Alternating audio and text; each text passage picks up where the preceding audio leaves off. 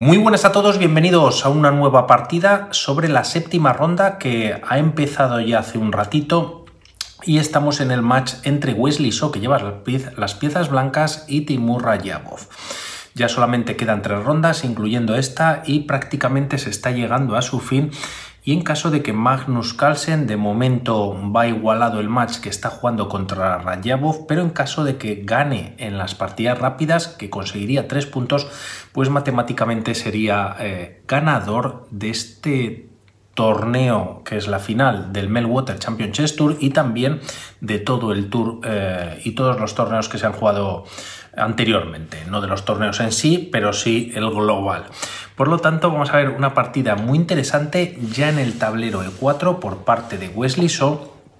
a lo que Levon Aronian contesta con E5. Tras estas jugadas, caballo F3, caballo F6, entrando así en la defensa Petrov, una de las defensas más sólidas para jugar con negras que... Em, pues prácticamente no es que se aseguren unas tablas, pero bueno, pues eh, tienen muchas probabilidades. También las probabilidades de ganar con piezas negras pues son bastante escasas, siempre hablando de eh, partidas en la élite. No obstante, vamos a ver qué va a pasar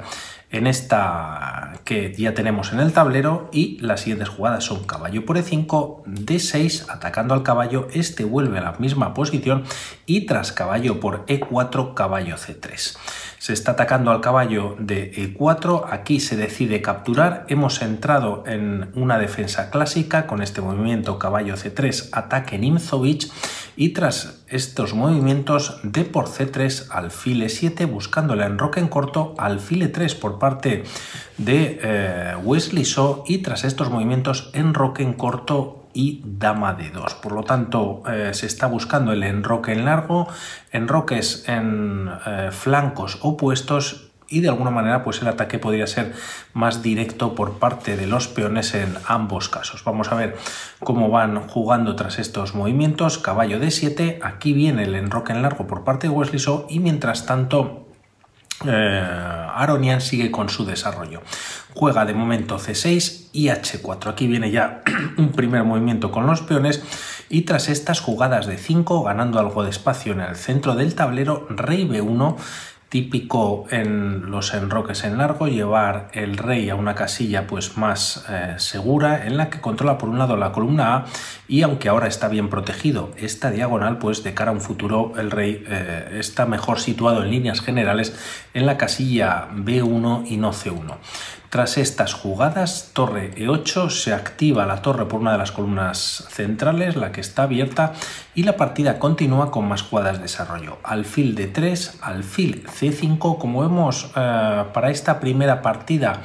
eh, que está jugando Aronian, pues lo que también va a ir buscando es el cambio de piezas para simplificar la posición y constantemente Wesley So eh, lo va a evitar. Tras estas jugadas, el alfil se retira G5 y de alguna manera también pues, eh, se juega F6 debilitando la posición o la estructura de peones. Aquí podríamos pensar en jugar alfil E7 pero las blancas podrían aprovechar este movimiento con h5. Tras estas jugadas, y si las negras, siguiendo unas una de las líneas del módulo, capturan en g5, primero las blancas pueden sacrificar en h7 el alfil y tras rey por h7, caballo por g5 con jaque, el rey vuelve a g8 y las blancas tienen bastante ataque, incluso pueden jugar un h6 y si se juega g6 cerrando la posición, directamente h7 dando un jaque. Por hacer dos, tres movimientos más eh, en esta línea, que es bastante interesante, el rey se puede retirar a g7, como vemos las piezas blancas cuentan con pieza de menos, pero a cambio pues tienen ya un peón prácticamente a punto de coronar y también eh, las piezas negras pues están bastante eh, sin desarrollo, sobre todo en el flanco de dama. Como vemos el rey está prácticamente solo en la posición, torre de E1 atacando a este torre de E8 para buscar la coronación con la, junto con la torre de H1 y tras torre F8 retirándose y manteniendo la defensa de esta casilla en caso de que las blancas jueguen dama E3 quizás para buscar dama D4 con algún tema de jaque y incrementar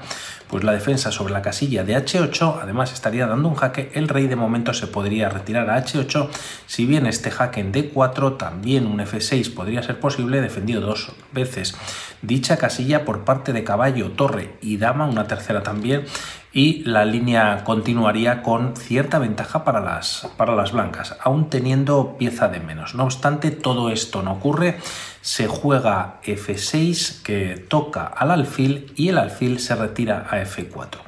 La partida continúa con caballo e5, nuevamente pueden venir eh, cambios de piezas menores, aunque Wesley Son retira su caballo a d4 y tras jugarse alfil b6, también retirándose el alfil pues a una casilla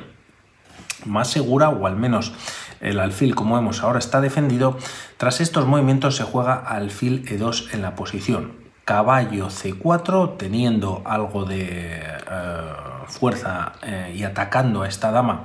de d2 y aquí vienen varios cambios. Alfil por c4 d por c4 y tras jugarse h5 alfil por d4 se está aprovechando por parte de las piezas negras en cambiar algo de material. Primero dama por d4 también se cambian las damas en la posición y tras torre por d4 finalmente alfil e6 desarrollando la última pieza y conectando torres por parte de las negras. Eh, tras estas jugadas B3, quizás un cambio ahora de peones le favorecería a las piezas blancas que cuentan con peones doblados en la columna C y de momento Aronian mantiene ahí la tensión y juega alfil de 5. Como vemos se está tocando, perdón, dos veces se está tocando, perdón, al peón de G2 eh, por parte del alfil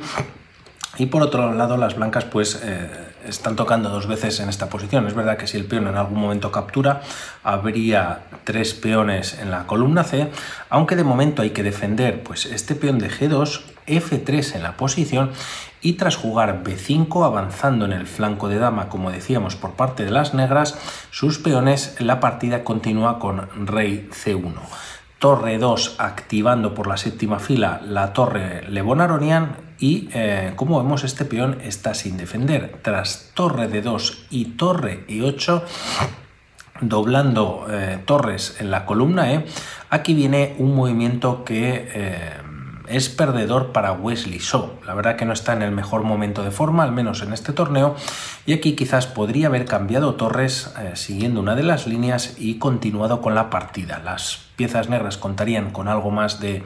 si no de ventaja, pues sí estarían un poquito más activas, pero las blancas defendiendo y colocando la torre en G1, pues al menos estos peones de momento eh, no sufrirían, ¿no? Es verdad que además hay alfiles de distinto color, por lo tanto, si aquí las piezas negras juegan C por B3, no es recomendable capturar desdoblando peones, ya que caería el peón de A2 y además con ello prácticamente la partida, pero capturando con el peón de A, pues eh, tiene una estructura de peones doblados, pero tampoco es eh, definitivo para las piezas blancas, ni muchísimo menos. No obstante, aquí se juega rey de 1 con mucha intención, teniendo doble control sobre esta casilla de E2, pero como decimos es una jugada perdedora y Levon Aronian sabe aprovecharlo, ya que tras ese movimiento juega y sacrifica o deja capturar eh, su torre en G2 ganando un peón y tras torre por G2 la partida termina con alfil por F3 jaque